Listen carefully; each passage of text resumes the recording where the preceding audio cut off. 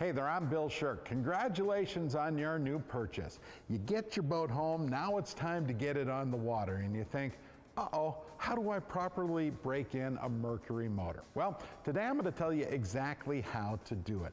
By being patient, you will protect your investment, number one, and ensure that your boat runs properly for a long, long time.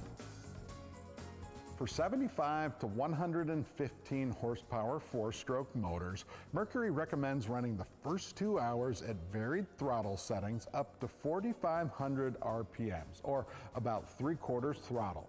Plan to run at full throttle for one minute every 10 minutes. Now, for the next eight hours of operation, you can run at full throttle, but only up to five minutes. Do not run fast more than five minutes. Follow that process and you are ready to roll. Again, on behalf of Rapid Marine, congratulations on your purchase. We'll see you on the water.